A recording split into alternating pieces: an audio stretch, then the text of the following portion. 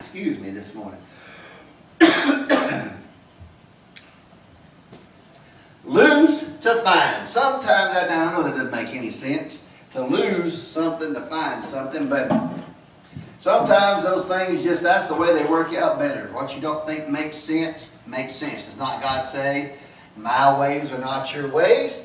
You don't think the way I do, therefore, how in the world could you understand the way I am? So sometimes we have to not only think out of the box, but forget that there was even a box there.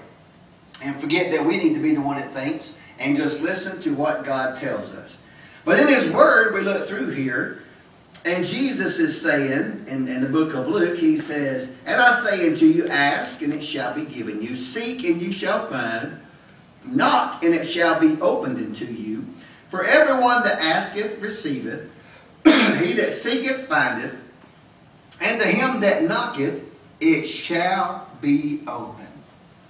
But what if I said sometimes, sometimes you don't necessarily, or you can seek all you want, but sometimes you just can't find something. Sometimes it's just we try to look too hard. Y'all ever heard that old saying, looking for a needle in the haystack, you know, just gets impossible? Or as I was trying to equate with this picture, sometimes you can't see the forest for the trees. You ever heard that? You know, you, you're just looking so hard for something that you overlook it. It is right in front of your face the whole time it's been there. And the whole time it's been staring at you. And the funny part is, most of the time, other people around you with you can see it. They're sitting there looking right at it, and they're sitting there saying, you know, like, you know, come on, don't you understand? Look, there it is, right there. Why can you not see why you're going through this? Why can you not see what's happening? Why can you not see the very truth? because sometimes what we do is we get our own ideologies, we get our own ideas, and we get our minds so set on something that we can't see what is right in front of our face. Folks, God tells us that's why He says, don't just try to, don't think about your will, our will, but think about what God's will is in our lives. If we will trust about what God's will is, if we will trust God to lead us, to guide us, and direct, to direct us, then we don't have to worry about if we're going to if we're doing the right thing, if we're if we're walking the way we're supposed to walk, if we're doing what God has called us. Do you believe that God has called you to do something in life? Do you believe that there is something upon your life that God has got for you? We just talked about how so many times in the Bible, these people that that you know we look up to, how many times have they bumbled and fumbled, and how many times have they have they dropped the ball and they've messed up? And we start thinking to ourselves, if you ever look at it, well, hey, maybe I'm not so bad. Maybe, maybe, maybe God still can use me. Well, of course He can. And He's got something in store for each of us if we will just turn, uh, turn to Him and look beyond what we see in this world. But allow God to show what He's got in store for us in the spiritual world. in the book of Acts, chapter 9, it says, And Saul, yet breathing out threatening and slaughter against the disciples of the Lord, went unto the high priest, and desired of him letters to Damascus, to the synagogues, that if he found any of this way, whether they were men or women, that he might bring them bound into Jerusalem. Saul was on a mission to stomp out and to crush Christianity with no matter what the cost was going to be. His mind was set on these people are heathens, these people don't know, these people are going against the law. Do they not know the law that was written? You know, Saul was a Pharisee. He was a wise man. He was trained in the Bible, the son of a Pharisee. I remember in the Sanhedrin. He was, he was a man that was very, very, very educated in the old Word of God. And because of this, he had his mind set on one way and was not open to anything else. Now, there is nothing wrong with having your mind set on God. There is nothing wrong with having your mind set on serving and doing what God tells you to do. But when the Son of God had just been walking around and he was sitting there healing and ministering and cleansing and then was crucified and rose from the dead, I believe we need to open up our eyes and look around and let God talk to us like Paul, like Paul or Saul at the time was still not willing to do. He did not just trust because he was still trusting in only what he saw. He had it in his mind. He had this vision. His sight was, I've got to go out and stomp out this new movement. That was the only thing that was on his mind. It had become a personal vendetta. Now, when you become, when you get something so strong and so hard in your life that it becomes your little personal vendetta, folks, have you ever seen anybody going on one of them? It's just like they forget all logic. They forget everything. Here again, they can't see the forest for the trees. They would do harm to themselves even to make sure that the outcome is what they're wanting it to be. I was watching this 2020 thing the other night late, and all they were showing how these uh, crime, whatever, they redo the crime scene. They try to make it, oh, we got to prove that this guy did this. And they were trying to do everything they could to make sure the results of a blood splatter would be the same as what it was. And they tried and tried and tried and tried and tried and tried. Man, they went through it over and over. I mean, numerous times just to try to get it to work the same way. And finally, they got it, and it showed the from the little cameras, the, one of the women that got up that was doing all the thing, boy, she jumped up, she did a little happy dance like she just scored a touchdown, and she run out. They were sitting there saying, isn't that a shame that they had to try so much and go through so much, spend so much time just to prove their point? When if they would just look at it, they might could realize this really isn't the way that it happened. Saul was so intent on doing away with Christianity that he couldn't open up his eyes and see what Jesus had in store for him. It says, as he journeyed, he came near Damascus, and suddenly there shined about him a great light from heaven. And he fell to the earth, and he heard a voice saying, Saul, Saul, why persecutest thou me? And he said, Who art thou, Lord? And the Lord said, I am Jesus, whom thou persecutest. It is hard for thee to kick against the pricks. Now, Paul, here he was, like I said, man of sin. He, he was an upstanding man, but Paul still knew what was going on in the countryside. Back on those days, people usually had to plow. That's what they did. They farmed, they fished. They had to do something. You know, Paul was, we all know Paul was a tent maker. They had to have their trade, but gardening and, and planting was a great, was a huge, huge, huge job back in those days. And they would take their oxen or whatever they would plow with, and they would try to plow the fields. Y'all ever seen those plows where people are, they've got the yoke upon it and they're, they're sitting behind and they're pulling it. Well, sometimes they just won't move. We've got this little miniature donkey at work. And boy, she's just as cute as she can be. She's probably about this tall, you know, and, and usually she stays with a deer in a certain area, but baby deer have come onto the scene. So we take her out just to make sure nothing is going wrong. Well, we'll put her in the barn. And she being this little donkey, she's just as stubborn as she can be. She don't want to go in. And then once you get her in, she don't want to come out. But we have to take her out because while leave her in there? Take her out, put her in a different pen every day. And she just don't want to come. Now, like I say, to her head, she's here. And going down back to there, you can put a little halter on her, hook up a, the lead, and start to pull, and you can get right to where that rope ends, and that's as far as you're going to go. Tiny little thing as she may be, you can pull, you can do whatever you want, but if she don't want to move, she ain't going to move. She's strong, boy, she's just got it within her. So what we learned to do is, I get the lead rope, I wrap it around her backside, behind her legs, pull it back through up, the halter up top. Then when I start pulling, boy, it starts pulling her backside with her, and she starts hunkering down, and then she'll just walk and walk. And finally, you can let go of the pressure, and she'll just walk by herself. Once you get her going in the right direction. But what they had was these big old oxes and all that plow their gardens. so they would get this big old long stick. And when I was reading about it being a big old long stick, I thought, yeah, I bet so. That's a big old animal you fixing to poke. And they had a little sharp thing on the end. They'll poke it in the backside. Like, get going, get going. Well, sometimes, just like this little donkey, that ox don't want to go. It's got its mind set. It's got its mind made up. And it just don't want to go. And they said that it would kick up against the stick to try to get whatever it was poking in the back, kick the stick to try to get it out of the way. But it didn't do no good because what would happen? the farmer just pokes it harder and more until finally it jumps and gets going and its wheel is broke and it goes the way that the farmer wants it to go. Jesus is asking Saul, why in the world are you kicking against the pricks? Why are you trying to kick at me? Why are you trying to ignore what I am trying to tell you? You are an educated man. You know the word that I have given.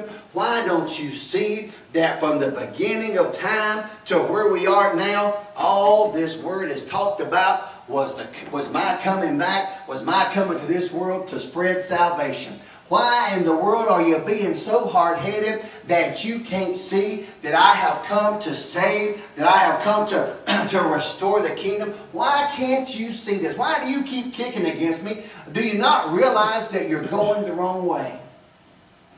Bible says that says there was a let me get where I was at, sorry. And he said, trembling and astonished, he said, Lord, what wilt thou have me to do?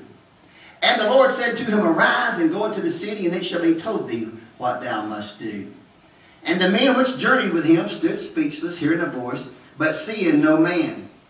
And Saul arose from the earth, and when his eyes were opened, he saw no man, but they led him by the hand and brought him into Damascus. And there he was for three days without sight, neither did he eat, or neither did he drink.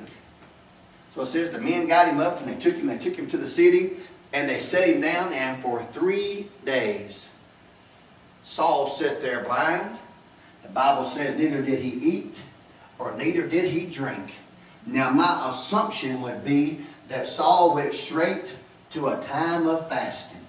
He knew all about fasting. He knew all about what was going on. Here he is now thinking that he's out doing what God wants him to do. Thinking that he's on this mission to tear apart Christianity, to put it down, and all of a sudden he gets a, a visit from, from Jesus that tells him, you need to stop what you're doing. You're going about this all wrong. Why are you trying to kick against me? Why are you trying to put down and stop what I have just got started? So Saul realizes within his heart that maybe something is up. Maybe I have been going the wrong way. Maybe I have been kicking against the pricks. Maybe I have been being mule-headed so thick that I won't see where God is trying to do and what Jesus is trying to do. Maybe I just don't realize what God has got in store. But it says he asked him, what would you have me to do? And he says, go to the town and you're going to find out. Isn't it crazy how God didn't just tell him right away, Saul, I want you to change your name to Paul. I want you to become the best, the greatest missionary that the Bible world has known. No. He said, you'll find out in a little bit.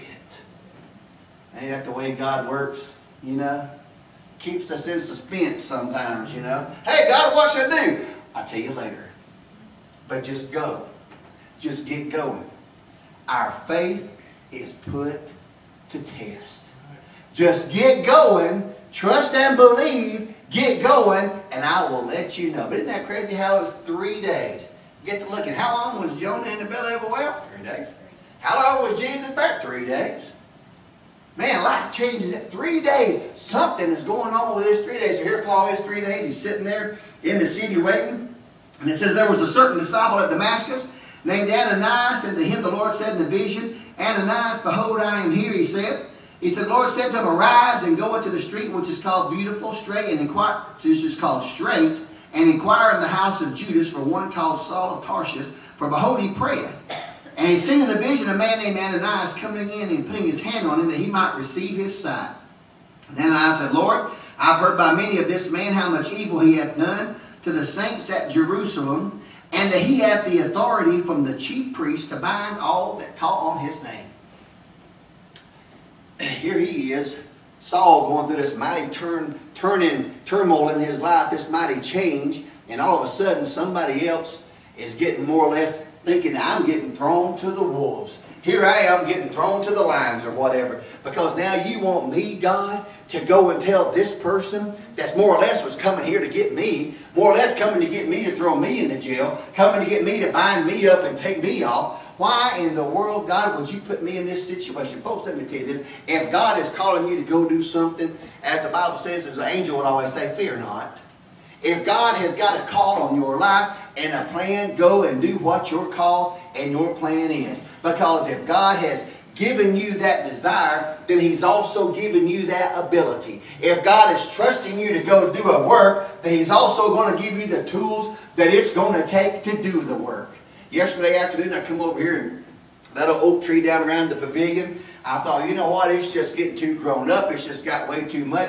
I'd come over here before uh, one other time and, and I looked at it. That's about as much as I got done on that part because I didn't have the right tools with me. But yesterday I was able to bring a chainsaw and I had a tall ladder. So with a chainsaw and a tall ladder, I was able to get down there and trim the trees that needed to be trimmed. I had the right tools. It was a great day to do the work. I had the ladder to step up. If God is calling you to do something, don't worry about not having the ability. God will give you the ability. Don't worry about having not having the right tools. God will give you the tools that you need to do the job that He has called you for. Look back, what did He tell Moses? He told Moses, look at what is in your hand. Take that rod, and with that rod, you and I are going to do great things. What did he tell Samson? Samson, pick up that jawbone and fight and do what you're supposed to do. Thousands died. A few minutes later, Samson's like, Whoo, I'm tired and I'm thirsty. Jesus or God tells him, Look what's in your hand. Look in that jawbone and that little hollow spot. I've now made it a water spigot. Drink all that you need so that you can drink and be fulfilled. If God has got a plan for you, if God has got something called for you to do, you just do it. Let God supply as you go. Don't be afraid to step out. Don't be afraid as Ananias was all worried, but you don't understand. He's the one that's coming to get us. He has the power to bind us up. The priest have given him, the, the, the governor has given him all the paperwork he needs to come and put down Christianity and to bind us. But Jesus tells us in Matthew 18, Verily I say unto you, whatsoever ye shall bind on earth shall be bound in heaven, and whatsoever you shall loose on earth shall be loose in heaven. Again I say unto you that if the two of you shall agree on earth as touching anything that you shall ask, and shall be done for my Father which is in heaven. Jesus says, I'm giving you, my children, the power to bind. Don't worry about if you think that Satan's out there and that he has the power. The Bible says that he is, small little word there, as a roaring lion. Didn't say that he was one, but he's as one. He tries to look big. He tries to act big. He tries to scare you. But folks, the lion of Judah, the lion of Judah, not be like as a lion of Judah, but the lion of Judah, when he tells you to do something, when you've got him with your back, when you've got him walking with you, folks, there is nothing that you have to worry about. Everybody, you was talking about the Dobermans earlier that you have walking in your yard. Imagine if your guard dog was a big old full-grown lion. I don't think you'd have to worry about nobody breaking in your house. You don't have to worry about nobody coming and trying to take you over because there's a lion at the gate. Folks, we've got the lion at our gate. He walks before us, and you know they say a lion's roar can be heard for miles. For miles it can be heard across the, the area that where they across the prairies and the tundras. It can be heard for miles away. Don't you know as the lion of Judah walks and as he roars that the demons tremble, knowing that here comes Jesus. He's coming this way. We better split the path. We don't care who's with him because whoever's with him, he must love them and he's taking care of them. So leave that one alone. Ananias starts walking. Okay, God, if that's what you want me to do, then that's what I'm going to do. He said, Go your way, for he is a chosen vessel unto me to bear my name before the Gentiles and kings and the children of Israel. For I will show him how great things he must suffer for my name's sake. Now, look what Ananias has got. Okay, God, if you want me to get over this fear of, of going to this man that's going to arrest me, you're going to protect me, I will do it. And then Jesus, or, you know, talking to Jesus here, he throws in the old token Oh, and by the way, I'm going to make him one of the greatest that there is. He's going to talk to kings. He's going to do the. He's going. He's going to be in charge of it all. But I need you to go and lay hands on him and pray with him. But what if Ananias said, well, hold on, I need to spend three or four days fasting myself. If I gotta go, if I gotta get myself right to go pray for somebody that's gonna be this good, no pressure, Ananias. But get in there and do it. this kind of shows us, folks, which the Bible says he's one of his disciples. You better stay prayed up.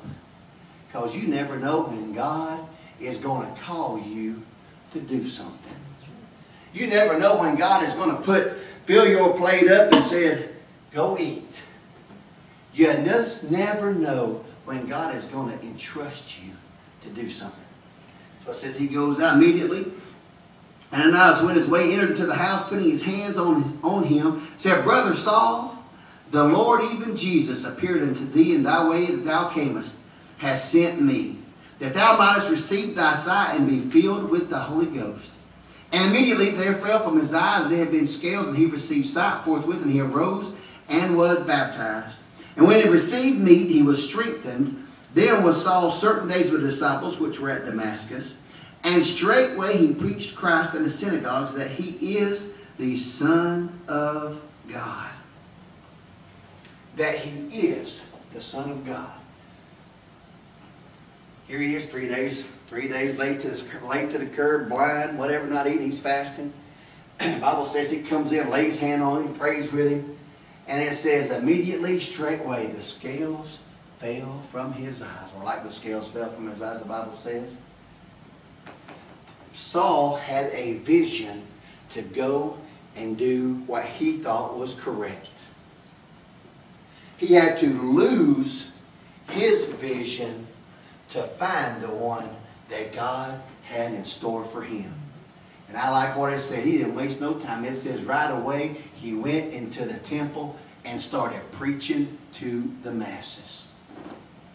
It doesn't matter what you've been doing. It doesn't matter where you've been in life. It doesn't matter what you've done yesterday or even this morning. God has got something for you, and He's telling you, let's get that behind us and let's walk forward. Don't waste any time. Why do you think no time was wasted? Because when you waste time, what's that old that old saying, idle hands, idle time is a devil's workshop. Get busy for God. Saul didn't waste any time. He didn't start thinking, okay, well, let me go back and regroup. Let me go back to the, let me go back to where I come from and get all my, get everything straight and tell my family. No, it says he went straightway and started preaching. Folks, when you might have, you might have stumbled and failed and, and fell by the wayside, you might have done so much, but until you lose what the you part out of this equation, until you lose what you want to do in life, until you lose what you think that your plans are, and you discover and you find what God's plans are in your life, the Bible tells us we're going to be of all men most miserable. We're never going to have peace. We're never going to have comfort. We're never going to be able to lay down at night. It's going to be like our day was if this day would just hurry up and get over. We're not going to have that joy that God wants us to have. But if we will lose us in the equation and find God and find what God's got for them, forget what our agenda is and start looking at God's ministry, forget what we want to make in our life and ask God, God, what do you want for us to do in our life? Then we're going to find what we're supposed to be. Then all of a sudden, it's going to be like the scales have fallen off of our eyes, and we can go out and we can start to work. We can start to live as God has planned. Watch the blessing just start to flow. Watch the doors start to open. Watch our life start to change right before our newly opened eyes if we will just lose ourselves and find God. Matthew says this, Jesus says in the book of Matthew, Then said Jesus, If any man will come after me, let him deny himself, take up his cross, and follow me. For whosoever will save his life shall lose it. And whosoever will lose his life for my sake, he shall find it. You've got to lose you, get you out of the equation except for God. What can I do for you? Get everything else out of the equation lose yourself in God. What is, It is so awesome just to be lost. You ever get down in your prayer closet and you get to praying and you get to talking with God, and next thing you know, you look around, it's done been 30, 45 minutes. It's done been an hour. I've been here worshiping, praising God, praying to God. Boy, next thing you know, time is gone. But boy, don't you feel strengthened? Don't you just feel like the Spirit has just risen up and He's become that marrow to your bones? He's become that strength that you need, all because you forgot about you and you started trusting in God. Luke says, remember the, or in Luke, Jesus says, remember Lot's wife. Whosoever shall seek to save his life shall lose it, but whosoever shall lose his life shall preserve it. You've got to lose yourself. Boy, that's so hard to do. Because we think we're the ones that got to take care of ourselves. No. You let God take care of you. You let God tell you which way to go. So many people don't believe in anything. How could you not believe in anything? How could you not believe in a creator? Look at this world and see where it all is and see how we're just far enough away from the sun where we don't burn up. We're just far enough away from the sun where we don't freeze to death. Look at how the plants that are out there gives us back the oxygen that we need. Look how everything is put into place. How could you deny the very power of a creator, our God? Unless you're just hung up on you. Hung up on you. Now, a certain ruler asked him, saying, Good master, what shall I do to inherit eternal life? For the Son of Man has come to seek and to save that was what you lost. Believe in him. Come to the instruments. Here's old Paul, or Saul. Knocked down, life before him, he's blinded. He can't see anything. And he's at the mercy of the voice that he is hearing. I told you this before. One time I was up underneath this machine at work, uh, probably late 80s, and a tube, a hose busted, and all these chemicals come down. Boy, they got in my eyes, and it was just torturing. It was just burning, burning. So I jump up and finally get to a, a sink, you know, and I'm sitting there trying to get all this water to go in my eyes. I couldn't get it out. Boy, it was just burning. Finally, somebody come over there because, you know, when your eyes are burning, you kind of can't really hold them open. It's, I can't even put eye drops in. I don't know how people put eye drops in, much less contacts. But, but anyways, I'm sitting there and a buddy comes over he's sitting there, screws the water hose on. He starts sitting there trying to shoot it all in my eyes and clean my eyes out so that, you know, we can get it going. And somebody else is calling the hospital and like, bring him on up to the hospital. Get him up here as quick as you can you know, but let his eyes wash out for 10 minutes, then get him here, you know. And I'm trying to hold my eyes open. He's trying to squirt the water in, you know, I can't see nothing. Finally, spend the 10 minutes, he said, let's, let's go, let's go. So they grab me some cheesecloth, and I grab it up and put it over my, my eyes, and we start to, to walk out. I am reliant, trust me, upon this guy. I can't see nothing. We're walking, kind of go through this maze of tables. He's having to lead me. Get to the door, we go out, we get in the car or his truck, and, and we take off to the hospital.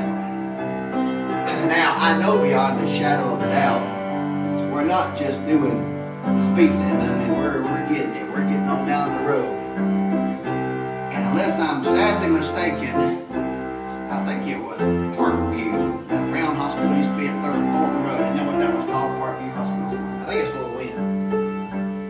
it didn't, it seemed like it didn't take but a minute to get there. And I'm sitting there thinking, Lord, if my eyes don't even get better, at least I'm not going to be able to see what we hit. And we're going so fast, I ain't going to feel it anyways.